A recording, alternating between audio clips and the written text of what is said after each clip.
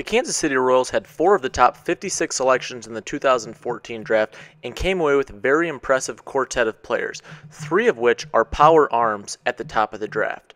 Their draft began with the 17th selection with Brandon Finnegan, a left hander from TCU. Finnegan was getting buzz in the top 10 selections early in the season when he was striking out hitters at a prodigious rate and showing three plus pitches.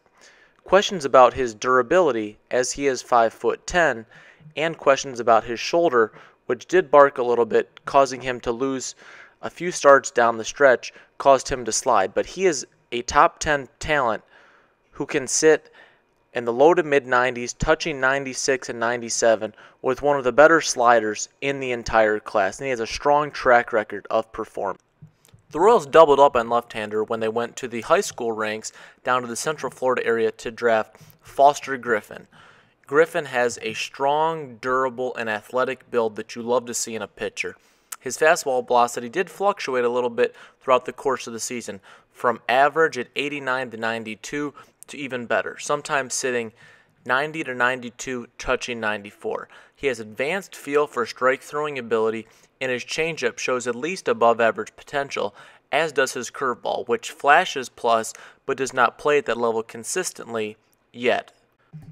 Louisiana prep catcher Chase Vallot became the first position player the Royals drafted with their pick at number 40. With Vallot, although he plays an up the middle position, you're buying the bat. He has a chance to hit, and he has plus plus raw power.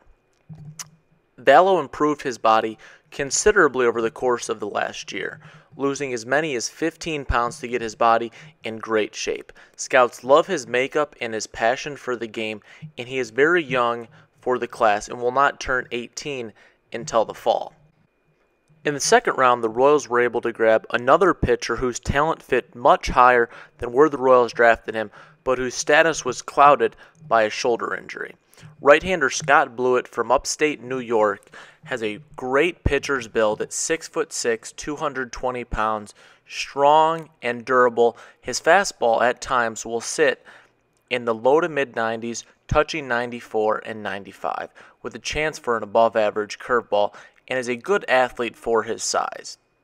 He did miss close to a month of the season with an injury, and sometimes his fastball velocity would fall into the high 80s. But on pure talent, he likely fits much higher than 56.